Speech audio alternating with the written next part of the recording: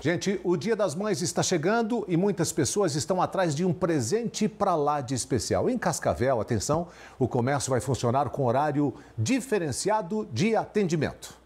Agora é contagem regressiva para o Dia das Mães e com isso o movimento no comércio tem aumentado. É sobre isso que eu converso com o presidente da SIC, Genésio Pegoraro. Os lojistas estão animados também pela queda na temperatura que chega em bom momento. Também, os lojistas, eu sempre falo que os lojistas, eles sempre estão muito otimistas, eles estão animados. É uma data muito importante para o comércio, é, no modo geral. O frio, é, principalmente a nossa região, também faz parte da expectativa de venda do comércio. Uma data importante, é, horário estendido para que as pessoas possam fazer as suas compras. Então, um momento especial para o comércio da nossa cidade.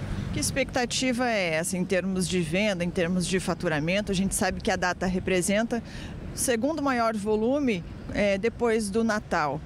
A expectativa é boa, ela temos aí uma expectativa de crescimento em torno de 7 a 8% em relação ao ano passado. É, o comércio espera atingir esses objetivos, é, igual eu falei, com horário estendido também, a partir de amanhã até as 20 horas e no sábado até as 18 horas. É, esperamos assim que todos consigam atingir os seus objetivos.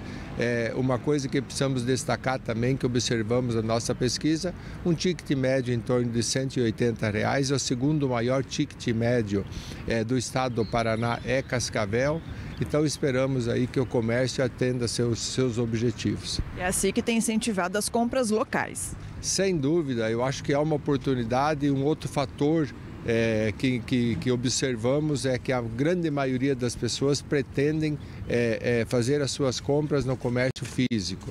Então isso é muito importante, valoriza o nosso comércio, valoriza a nossa cidade, então falar dessa importância.